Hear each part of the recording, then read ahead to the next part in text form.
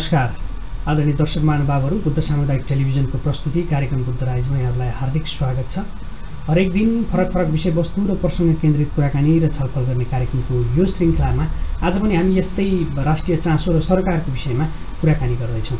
नेपालमा खेलकुद र खेलकुद क्षेत्रको विकास र समृद्धिका विषयमा धेरै खालका चर्चा परिचर्चाहरू हुने गरेका छन्।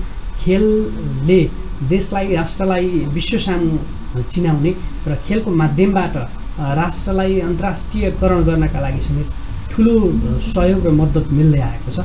यो खेल खेल क्षेत्रलाई स्थापित गर्नका लागि नेपालमा भएका विभिन्न विरागत खेलहरूलाई स्थापित गर्न त्यसको संस्थागत विकास गर्नका लागि खेलाडीहरूको क्षमता विकासका लागि सबै क्षेत्रको एउटा अभिभावकत्व ग्रहण गर्ने संस्था भनेको राष्ट्रिय खेलकुद परिषद हो। र यो खेलकुद परिषदमा भर्खरै मात्रै सदस्य सचिवका रूपमा नियुक्त हुनुभएका रमेश सिलवाल जो यस अगाडि पनि खेल क्षेत्रमा क्रियाशील हुनुहुन्थ्यो उहाँ मदन भण्डारी एकाडेमी स्पोर्ट्स एकाडेमीको संस्थापक अध्यक्ष पनि हुनुहुन्छ। लामो समय खेल क्षेत्रका विभिन्न क्षेत्रहरू र तहमा समेत रहनुभएका सदस्य सचिव रमेश सिलवालसँग आज हामी यो विषयमा कुराकानी गर्दैछौँ। सबैभन्दा पहिला आजका अतिथिज्यूलाई स्वागत छ। हस् धन्यवाद। सबैभन्दा पहिला यहाँलाई यो सदस्य सचिव जस्तो एउटा महत्त्वपूर्ण पदमा यहाँले आफूलाई बहाल गर्नुभएको छ। यहाँलाई यहाँको कार्यकालको सफलताको शुभकामना छ। हस् धन्यवाद। र यो सँगसँगै यहाँमा चाहिँ ठुलो एउटा दायित्व र जिम्मेवारी पनि थपिएको छ। हामीले जताततै खेल क्षेत्रमा निराशाका मात्रै कुरा सुन्ने गर्छौँ। यो खेल क्षेत्रमा बजेटै नभएर सरकारले ध्यानै नदिएर हो अथवा अरू पनि कारण के हो? अब यो मैले दुइटै चिज लागेको छ। अब मेरो अहिले जुन जिम्मेवारी छ त्यो अवसर हो र चुनौती पनि हो। अवसर यस मानेमा कि जुन भर्जिन ल्यान्ड छ त्यसमा काम गर्ने थुप्रै हुन्छ। जुन ठाउँमा चुनौती हुँदैन त्यो ठाउँमा काम गर्नुको मजा पनि हुँदैन। त्यसैले मैले यसलाई चाहिँ अवसरको साथसाथै चुनौतीको रूपमा र यो चुनौतीलाई समाधान गर्ने बाचा बन्धनसहित म आएको छु एउटा कुरो। तपाईँले भनेको जस्तो ठ्याक्कै पनि त्यस्तो पनि होइन। नेपालमा खेलकुद गतिविधि हुँदै नभएको पनि होइन। खेलकुद गतिविधिमा चारैतर्फ निराशा छाएको पनि होइन। मूल के भयो भने हामीले अहिले सञ्चार माध्यमहरूले विश्व चाहिँ ग्लोबल भिलेज भयो। अब हाम्रो सिङ्गो बजेट चाहिँ एउटा मेसीले खाने बजेट जति छैन। उसले जति आम्दानी गर्छ त्यो जति पनि छैन। हाम्रो एक्सपेक्टेसन ठुलो छ। त्यो अनुसारको नभएको मात्रै हो। तर क्रमशः विकास पनि भइ भइरहेको छ। ग्रासरुट लेभलदेखि नै क्रमशः विकास भइरहेको छ। अहिले मेरो जोड चाहिँ तिन चारवटा पक्षमा छ। एउटा जोड भनेको इन्फ्रास्ट्रक्चर डेभलपमेन्ट गर्ने। भौतिक पूर्वाधारै छैन भने खेलाडी उत्पादन भएन भनेर हामीले भन्नु बेकार छ। हामीले कम्तीमा खेल्न मिल्ने चाहिँ तपाईँको खेल मैदान वा कबड हलहरूको निर्माण गर्नुपर्छ। र यो चार वर्षभित्र म सातैवटा प्रदेशमा चाहिँ एउटा बेसिक इन्फ्रास्ट्रक्चर चाहिँ डेभलप गर्छु। एउटा पाटो त्यो भयो। दोस्रो कुरो भनेको खेललाई शिक्षासँग जोड्ने अथवा शिक्षालाई खेलसँग जोड्ने। हाम्रो के भइदियो भने ग्रासरुट लेभलदेखि नै खेललाई राख्नुपर्छ। यसको दुईवटा कारण छ। यो सबै प्रोफेसनल हुँदैन। तर फिजिकल फिटनेस त सबैलाई चाहिन्छ नि। फिजिकल्ली फिट भएन भने मेन्टल्ली फिट हुँदैन। त्यसैले यो फिजिकल्ली फिट हुनको निम्ति र मेन्टल्ली फिट हुनुको निम्ति पनि यसको आवश्यकता छ। दोस्रो कुरो चाहिँ के हो भने यो त फ्याक्ट्री हो नि। एउटा रिसर्चले के भनेको छ भने यदि कुनै खेलाडीलाई छ वर्षदेखि आठ वर्षको उमेरमा सिकाउनु र सोह्र वर्ष पुगेपछि उसलाई सिकाउनुमा त्यसको रिजल्ट चाहिँ छदेखि आठ वर्षको डबल रिजल्ट आएको छ। किनभने उसको बडीको स्ट्रक्चर ऊ मेन्टल्ली प्रिपेयरनेस उसको मसलको स्ट्रक्चर उसको समर्पण हुने भावना त्यही अनुसार चाहिँ विकास हुँदै जान्छ। त्यसैले हामीले पहिलो कुरो हामीले स्कुल स्ट्रक्चरमा ध्यान दिनुपर्छ। यो हामीले शिक्षा र खेलकुदलाई सँगै लैजाने शिक्षा र कला संस्कृतिलाई सँगै लैजाने एउटा माध्यम बनाउनुपर्छ। दोस्रो भनेको यो नेसनल युनिटीको पनि हो। होइन? यसले राष्ट्रिय एकता कायम गर्न मद्दत पुर्याउँछ। तपाईँले कुनै फुटबल गेम भयो भने को कुन पार्टीको भन्ने महत्त्व राख्दैन उसले उसको पोजिसन अनुसार न्याय गर्यो कि गरेन भन्ने कुरोको महत्त्व राख्छ। र यो चाहिँ एउटा राष्ट्रिय एकतालाई मजबुत गर्ने पनि माध्यम हो। तेस्रो भनेको अन्तर्राष्ट्रिय जगतमा राष्ट्रलाई चिनाउने पनि हो। तपाईँले विश्वमा हेर्नु न साना साना राष्ट्रले पनि ठुलो उपलब्धि दिएको छ नि। श्रीलङ्काले क्रिकेटमा वर्ल्ड कप जित्यो। तपाईँ केन्या हेर्नुहोस् इथियोपिया हेर्नुहोस् जाम्बिया हेर्नुहोस् यी साना साना राष्ट्रहरूले पनि महत्त्वपूर्ण उपलब्धि चाहिँ स्पोर्ट्समा दिएका छन्।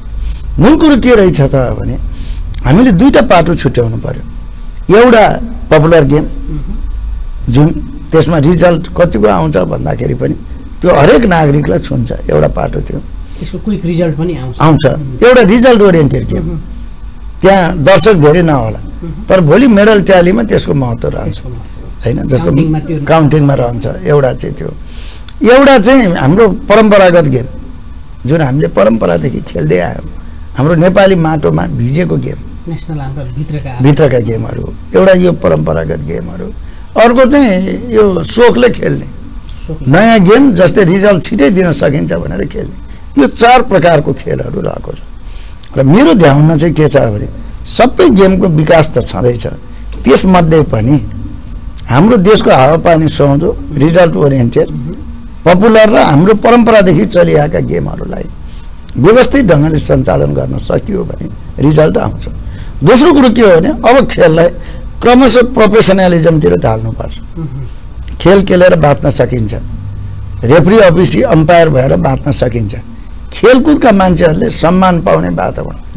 होइन खेलाडीहरूले कोच भन्ने बित्तिकै हामीले श्रद्धाले उहाँहरूप्रति सम्मान गर्ने वातावरण र आर्थिक हैसियत पनि प्राप्त गर्ने वातावरण बनाउन सक्यौँ भने मान्छेहरूले पहिला के गर्छस् भन्दा म मेरो छोरालाई छोरीलाई खेलाडी बनाउँछु भन्ने स्थिति आउँछ।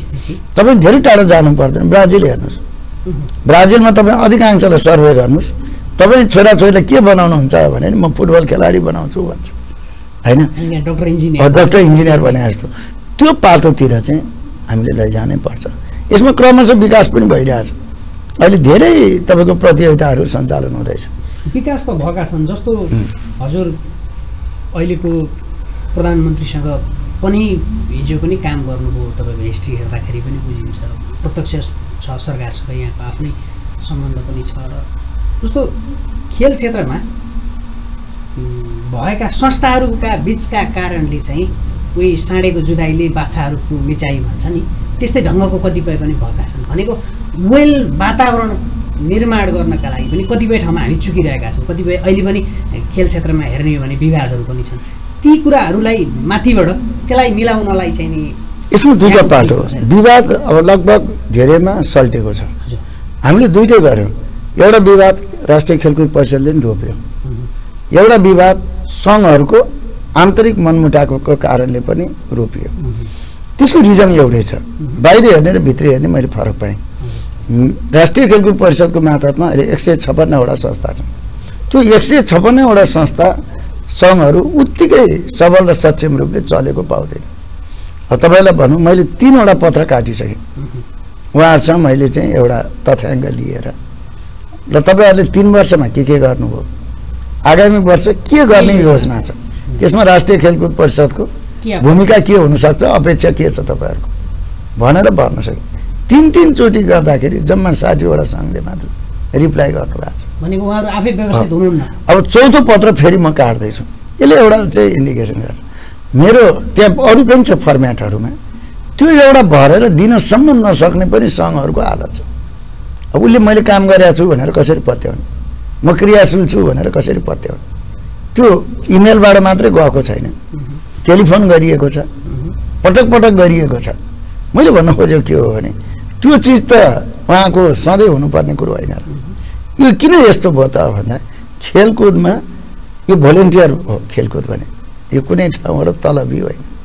भोलिन्टियरी गर्ने ठाउँमा मैले योगदान पुर्याउँछु। मैले खेलकुदलाई दिन्छु भन्ने मान्छे आउनु पर्दो रहेछ।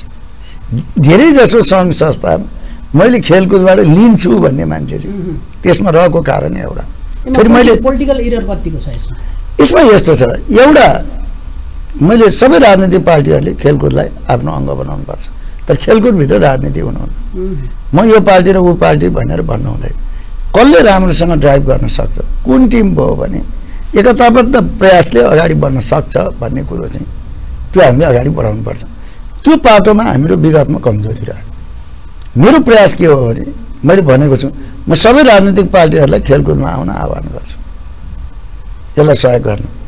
तर खेलकुदभित्र राजनीति नगरिदिनको निम्ति म आग्रह गर्छु। म आफू पनि गर्दिनँ। तपाईँलाई एउटा चुनौती के छ भने हिजो एउटा पार्टीको भित्रको खेलकुद इकाइलाई एकदमै व्यवस्थित र नेसनल्ली स्थापित बनाएको मान्छे त्यही ढङ्गले कतै नेसनल्ली पनि त्यो ढङ्गको प्रभाव पार्छ कि भन्ने र डराएका मान्छेहरू पनि होला। उनीहरूलाई विश्वासमा कसरी होइन यसलाई दुईवटा चिज छ। वकिलको भूमिका र न्यायाधीशको भूमिका फरक पर्छ नि खेलाडीको। खेलाडीको भूमिका र रेफ्री र एम्पायरको भूमिका त फरक पर्छ नि हिजो वकिल हुँदा कसैले वकालत गर्यो होला। हिजो खेलाडी हुँदा आफ्नो टिमको बारेमा उसले सोच्यो होला। तर अब न्यायाधीश हुँदाखेरि अथवा रेफ्री अथवा एम्पायर हुँदा त उसको भूमिका न्युट्रल भूमिका हुनुपर्छ होइन? हो। त्यसले उसको व्यवहारले पनि देखाउनुपर्छ बोलीले मात्रै होइन। त्यो देखाउन सक्यौँ भने हामीले एक ठाउँमा ल्याउन सक्छौँ। तपाईँ हामीले हेर्नु खेलकुद भने यस्तो चिज हो। अहिलेदेखि होइन परापूर्व कालदेखि नै। एउटा नियमसँग तर्कसम्मत जाने विधिसम्मत जाने र त्यो विधिलाई सबैले पालना गर्ने ठाउँ हो नि त। रेफ्रीले येलो कार्ड रेड कार्ड दियो भने किन दिस भनेर हुँदैन। ऊ जतिसुकै बलियो भए पनि ऊ बाहिर निस्किन्छ। होइन? त्यो एउटा पाटो त्यो हो भने दोस्रो पाटो तपाईँ हेर्नु। राजनीतिक सम्बन्ध बिग्रिएको बेलामा पनि खेलकुदले सम्बन्ध जोड दिन्छ यो तोड्ने होइन। यो जोड्ने ठाउँ हो। तर कता कता कहिले काहीँ चाहिँ के भइदियो भने जोड्ने भन्दा पनि तोड्नको निम्ति हामी सक्रिय भयौँ। नेपालमा खेलकुद विकास नहुनुको पछाडि यो पनि कारण रहेको छ सरस्वतीज्यू अहिले हामी प्रहरी चौकीहरूमा प्रहरी कार्यालयहरूमा गयौँ भनेदेखि एउटा ठुलो लिस्ट पाइन्छ। त्यो लिस्टमा युवा जो खेल्न सक्ने उमेरका युवा छन् सोह्र अठारदेखि पच्चिस छब्बिस वर्षका युवाहरू लागु औषधको दलदलमा फसेर आफ्नो भविष्य बर्बाद गरिरहेका छन् र त्यो दिनहुँ बढ्ने क्रम जारी छ। प्रहरी अधिकृतहरूलाई सुन्नुभयो भने तपाईँको क्षेत्रको चुनौती के हो भन्दा लागु पदार्थ त्यो पनि टिनेजरबाट। अब यसको अन्त्य के हो भन्दाखेरि यसको अन्त्य एउटा कारण खेल पनि हो भनेर उहाँहरूको त्यो अप्सनमा आउँछ होइन त्यसमा अरू कारणहरूमध्ये यो एउटा युवाले आफ्नो आफ्नो मात्रै होइन सिङ्गो परिवारलाई नै बर्बादीतिर धकेलिरहेको छ। त्यस्ता युवाहरूलाई अथवा दैनिक रूपमा हामी कहाँ खेल क्षेत्रमा प्रवेश गर्न चाहने युवाहरूलाई चाहिँ यो राखेपले कसरी समायोजन गर्न सक्छ र त्यो समस्यालाई अप्रत्यक्ष रूपमा सहयोग हुन सक्छ? अब तपाईँले एउटा राम्रो प्रश्न उठा यो हाम्रो मात्रै समस्या होइन। जति विकसित राष्ट्र छ नि त्यति ठुलो समस्या छ। मैले एउटा तपाईँले चार्ट हेर्नुभएको हुन्छ। अमेरिकामा चौबिस पर्सेन्ट आत्महत्या गर्ने आत्महत्या गर्नको निम्ति प्रयास गर्ने डिप्रेसनमा जाने जाने। को सङ्ख्या चौबिस पर्सेन्ट रहेछ। अमेरिका? कोरिया जापानमा यो सबभन्दा ठुलो प्रब्लम रहेछ त्यसैले अर्थतन्त्रको विकासले मात्रै। आशा मान्छेलाई जगाउँदो रहेछ हाम्रो बिचमा हाम्रो प्रतिस्पर्धा होला नेपालीहरूको स्तरमा उनीहरूको बिचमा उनीहरूको प्रतिस्पर्धा छ तपाईँले हेर्नुभयो भने किन त त्यो गर्न खोज्यो भन्दाखेरि म सँगै पढेको मान्छे मलाई मेरो गर्लफ्रेन्डले चाहिँ यसको ब्रान्डेड चाहिँ कार छैन भनेर मेरो चाहिँ आफ्नै रेन्टेड हाउसमा बस्नु परिरहेको छ मेरो फ्ल्याट छैन अथवा मैले यो गर्न सकिनँ भन्ने आदि इत्यादि कुराहरूमा उनीहरूको चाहिँ समस्या रहेको छ। यो विश्वव्यापी समस्या हाम्रो मात्रै होइन। तर जति मान्छेलाई खेलकुदमा लैजान सक्यो नि त्यो समस्या चाहिँ क्रमशः कम हुँदै आउँछ। किन खेलकुद भनेको अनुशासन हो। तपाईँले कोचले भनेको उसले मान्छ मान्नै पर्छ उसले। रेफ्रीले भनेको उसले मान्छ। नियमै हो। नियम हो। किन भन्दाखेरि मान्छेमा जब एनर्जी छ भने त्यो एनर्जी कहीँ न कहीँ पोख्न खोज्छ। होइन? युवाहरूमा एनर्जी हुन्छ। त्यो एनर्जी- परिणाम दियो। हजुर, हजुर। गलत भयो भने हजुर। त्यो कुन ठाउँमा पोख्ने भन्ने कुरो मात्रै हो। जब तपाईँ योगा गर्नेको अर्थ के हो? शिरदेखि पाउसम्म उसले अक्सिजन राम्रोसँग सर्कुलेट गर भने त हो नि। एक्सर्साइजको कुरो नि त्यही हो नि। जब उसले त्यो गर्न थाल्छ उसको शरीरबाट चाहिँ विकृति विसङ्गतिहरू बाहिर निस्किन्छ। पसिनाको फर्ममा अथवा ऊ थकित फर्ममा। ऊ निस्किने बित्तिकै उसको विचार उसको दृष्टिकोण पनि पोजिटिभ डिरेक्सनतिर जान्छ। यो हामीले बताउन नसक्या। जस्तो तपाईँ एउटा विचार गर्नु एउटा स्विमिङ खेलिरहेको बेलामा त्यो मान्छेले अरू केही पनि सोध्दैन। म स्विमिङ चाहिँ कसरी मैले पार गर्ने र चाहिँ कसरी नडुब्ने कसरी राम्रो परिणाम दिने मात्रै सोध्छ। उसले त्यतिखेर घर पनि सोध्दैन उसले परिवार पनि सोध्दैन उसको आफ्नो व्यक्तिगत जीवन पनि त सोध्दैन। भलिबल या फुटबल खेल्दाखेरि त्यो बलको पछाडि दौडिरहेको हुन्छ। अर्को सोध्ने उसलाई फुर्सद हुँदैन। यसले फिजिकल्ली पनि उसलाई ठाउँमा ल्याउँछ मेन्टल्ली पनि उसलाई ठाउँमा ल्याउँछ। तपाईँले भन्नुभएको कुरा के हो भने मैले अघि नै भने यसको निम्ति चाहिँ उसलाई युवाहरूले किन यो गर्यो भन्दाखेरि उसको आशा चाहिँ निराशामा परिणत। जब मान्छेले राज्यले त्यो युवाहरूमा आशा जगाउन सक्दैन भने ऊ गलत बाटोतिर जान्छ। होइन? हामीले आशा जगाउन सकेनौँ कि? यो आशा एकपछि मात्रै होइन। राजनीतिक पार्टीहरूकोबाट आशा। उहाँहरूको भातृ सङ्गठनबाट आशा। देशको विकास निर्माणकोबाट आशा। देशको रोजगारीकोबाट आशा। होइन उसको चाहिँ आर्थिक स्थिति मजबुती भएको आशा। त्यो आशामा जब कुठाराघात भयो भने त्यो विकृति विसङ्गतितिर लान्छ। अर्को चाहिँ के हो भने त्यसको वरिपरिको वातावरणले पनि त्यसलाई असर गर्छ। यो चिर्ने भनेको नि मैले अघि नै भने एउटा खेलकुदको माध्यम हो। एउटा कला संस्कृतिको माध्यम हो। कुनै न कुनै हिसाबमा उसलाई त्यो जोड्नै पर्छ। इन्गेज इन्गेज गर्नै पर्छ। होइन? त्यही मान्छेलाई जब इन्गेज गर्यो भने सबै प्रोफेसनल खेलाडी हुँदैन। त्यो भोलिन्टियरको रूपमा त्यो म्यानेजरको रूपमा होइन? अफिसियलको रूपमा। ऊ कुनै न कुनै रूपमा त्योसँग जोडियो भने त्यसले गर्व गर्ने वातावरण बन्छ। समाजमा उसको एउटा स्ट्याटस बन्छ। उसलाई चाहिँ सबैले मान्न सुरु गर्छन्। सबैले दाई दिदी भन्नु सुरु गर्छन्। यसले क्रमशः त्यो मेन स्ट्रिमतिर आउन। आफू मात्र सुध्रिँदैन हो। बिग्रेको मान्छेलाई पनि सुधार्ने बाटोतिर लाग्छ यसको निम्ति हामीले के छ भने मैले अहिले भने हामीले त्यो कोर्स बुकमै राखेर र एउटा जीवनको अभिन्न अङ्ग बन्नै पर्छ। यदि अङ्ग बनाउन सकेनौँ खेललाई भने यो यो स्थिति अझै विकराल भन्दै जान्छ दोस्रो कुरो तपाईँले अहिले एउटा स्ट्याटिस्टिक्स तपाईँले दिनुभयो। पहिलेको र अहिलेको मैले एउटा फरक पाएँ। हिजो नेपालमा जब खेलकुद सुरु भयो खेलकुदको इतिहास हेर्नुभयो भने त्यो दरबारबाट सुरु भयो। राणा शाह अथवा खानदानी परिवारबाट सम्पन्न परिवार। सम्पन्न परिवारबाट नेपालमा खेलकुदको सुरुवात भएको देखिन्छ। आज हेर्नुभयो भने निम्न मध्यम र मध्यम वर्गको हातमा खेलकुद छ।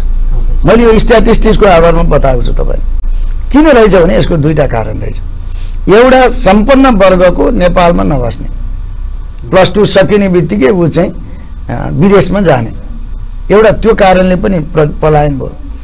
अर्को कारण के रहेछ भने अब उसले हेर्न थाल्यो एक्काइसौँ शताब्दी कम्पिटिटिभ छ। यो कम्पिटिटिभ एजमा यो खेलेर भन्दा मलाई अर्को क्षेत्रबाट चाहिँ मलाई चाहिँ बढी उपलब्धि हुन्छ भन्ने उसले सोच्यो। त्यसैले ऊ फिजिकल्ली फिट हुनको निम्ति खेल्छ। कमर्सियल तर कमर्सियलतिर ऊ क्रमशः पछाडि हट्दै गइरहेको मैले पाएको छु। जो मान्छे आयो त्यो सोखको कारणले आएको छ। कतिपयको सोख हुन्छ सोख मेटिन सकिँदैन। यो क्रेजी भन्छ इङ्ग्लिसमा। अब प्रेमी अथवा पागलपनको कारणले मात्रै आइरहेको छ। त्यसले गर्दाखेरि अहिले मैले हेरेँ हेर्दाखेरि त्यो पङ्क्तिलाई कसरी हामीले टिकाउने भन्ने हो। अहिलेको त तपाईँको साँच्चीकै भन्नुहुन्छ भने कतिपय गेमहरू स्कुल कलेजले क्लब स्ट्रक्चर पनि सबै गेममा राम्रो बनिसकेको छैन। स्कुल कलेजले टिकाएछन् थोर मात्रामा क्लबले टिकाएछन्। त्यसलाई खेलाडी उत्पादन गरेछन् उनीहरूले। त्यो खेलाडी उत्पादन गर्नेलाई टिकाउने काम चाहिँ विभागीय टिमहरूले गरेको छ सेना प्रहरीहरू र क्लब स्ट्रक्चरले गरेको छ। जब क्लब स्ट्रक्चरको बलियो हुन्छ स्कुल लेभलको चाहिँ गेम बलियो हुन्छ कलेज लेभलको गेम बलियो हुन्छ भने अटोमेटिकली इन्भेस्टमेन्ट बढ्छ। इन्भेस्टमेन्ट बढेपछि रिटर्न पनि आउँछ। तपाईँलाई म एउटा चिज बताउँ जब कुनै गेममा नेपालले जित्छ नि त्यतिखेर जब सम्पर्क राख्नुहोस्। स्पोन्सरहरू जति पनि भेटिन्छ। जब त्यो गेममा सेटब्याक खायो त्यतिखेर स्पोन्सर भएका स्पोन्सर पनि भाग्ने स्थिति बन्छ के रहेछ त भन्दाखेरि रिजल्ट खोज्छ। रिजल्ट खोज्दो रहेछ नि त। तर हामी कहाँ एउटा परम्परा के छ भने सिजनेबल मात्रै हुने. परम्परा पनि छ। हामी सधैँ अभ्यास खेललाई निरन्तरता दिन सक्दैनौँ। एउटा कुरा। अर्को कुरा चाहिँ भर्खरै नेसनल गेम खेलकुद भयो। त्यसमा केही गेमहरू प्रदेश पाँचमा यही रूपन्देहीमा पनि भए। भैरवामा भएको एउटा विधाको क्रिकेटकोमा खेलाडीहरूले चाउचाउ र पानी समेत पनि पाएनन् भन्ने ढङ्गका समाचार पनि आए। त्यो यसरी बुझ्दाखेरि पैसा आएको तर त कता कता हुँदा हुँदै आइपुगेन भन्ने पनि आयो। भनेको यस्ता खालका समस्याहरूलाई म्यानेज गरेर खेलाडीहरूलाई वेल म्यानेज गर्ने काममा चाहिँ रमेश सिलवाल आइसके पछाडि सुधार आओ भनेर रिजल्ट हेर्नका लागि चाहिँ कति समय पर्खनुपर्छ अनि त्यो समय पर्खिनै पर्दैन। तपाईँले त्यतिखेर पनि राखेपले नदिएको होइन। हाम्रो क्षमता अनुसार पर खेलाडी चौध सय रुपियाँ पर डे उसले दिएको थियो। त्यो चौध सयमा चाहिँ खान नपुग्ने स्थिति चाहिँ होइन। म एउटा यो भन्छु। अब त्यहाँ यदि कुनै त्यो आयो भने मिसयुज भयो। कहाँनिर मिसयुज लाओ। होइन टाइम पनि लागेको छैन। उसले पहिले प्राप्ति भएको छ। म आइसकेपछि अहिलेको चाहिँ क्लोज क्याम्पमा मैले त्यसमा वृद्धि गरेको छु। दुई हजार बाइस सय र पच्चिस सय रुपियाँ। पहिलो चरणकोलाई दुई हजार दोस्रो चरणलाई बाइस सय तेस्रो चरणलाई पच्चिस सयको रूपमा मैले छुट्याइदिएको छु। र त्यो त्यति मात्रै होइन यदि कुनै गेमहरूलाई त्यो गेम अनुसारको पनि डाइट चाहिँ खानुपर्ने स्थिति आउँछ।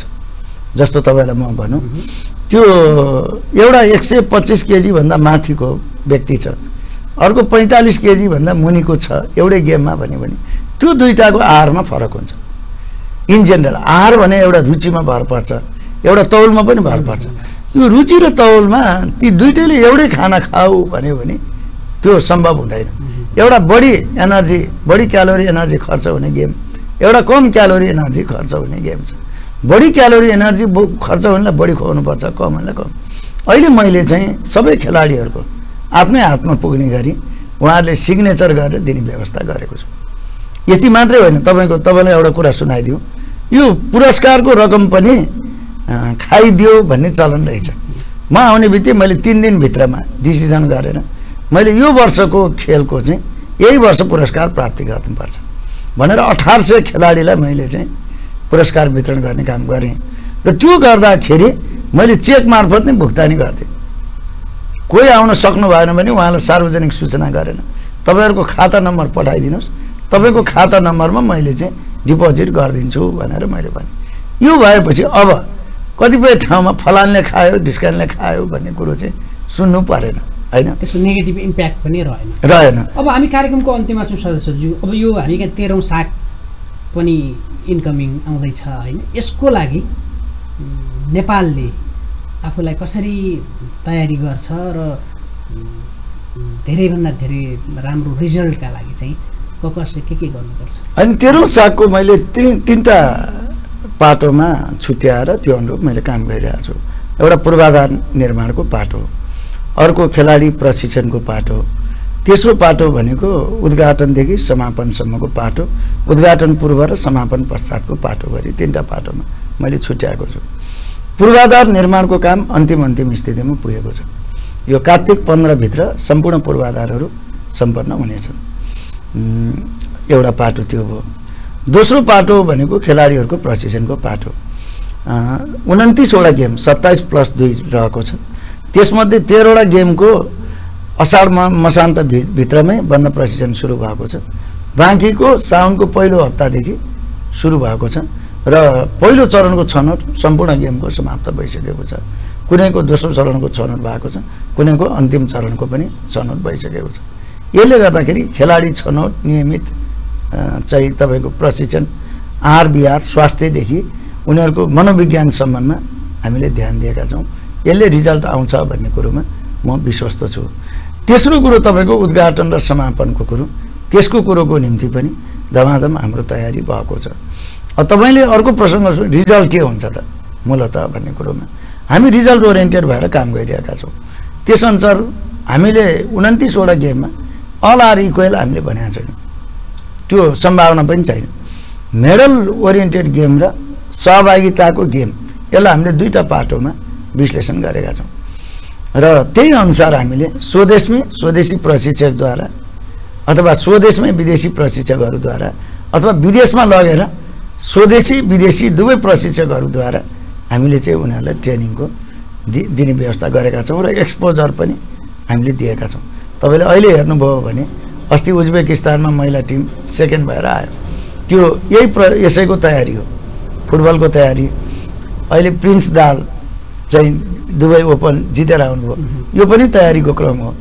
पर्सिदेखि ब्याडमिन्टन सात सय इन्टरनेसनल खेलाडीसहित नेपालमा कम्पिटिसन हुँदैछ। यो पनि तयारी हो।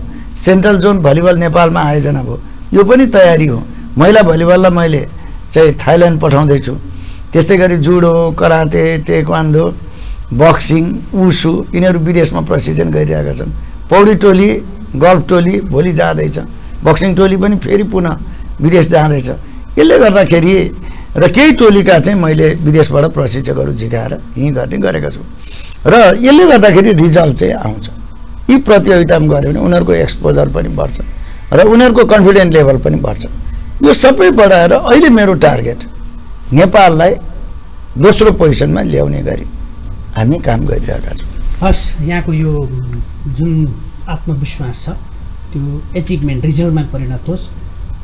तपाईँ आइसके पछाडि खेलाडीहरूले नागरिकहरूले खेल क्षेत्रमा भएको परिवर्तन अनुभूति हुने गरी परिवर्तन होस्। यहाँको सफल कार्यकालका लागि शुभकामना छ। जस्तो समयको बावजुद पनि हाम्रो स्टुडियोमा आइदिनु भयो यहाँलाई धेरै धेरै धन्यवाद। यहाँ लगायत सम्पूर्ण आदरणीय दर्शकवृन्दहरूलाई पनि आभार व्यक्त गर्न चाहन्छु। धन्यवाद। धन्यवाद। आदरणीय दर्शक महानुभावहरू हामीले कुराकानी गऱ्यौँ राष्ट्रिय खेलकुद परिषदका नवनियुक्त सदस्य सचिव रमेश सिलवाल उहाँसँग गरिएको यो समसामयिक कुराकानी सँगसँगै आजको कार्यक्रमबाट सम्पूर्ण युनिटलाई आज्ञा दिनुहोस् नमस्ते।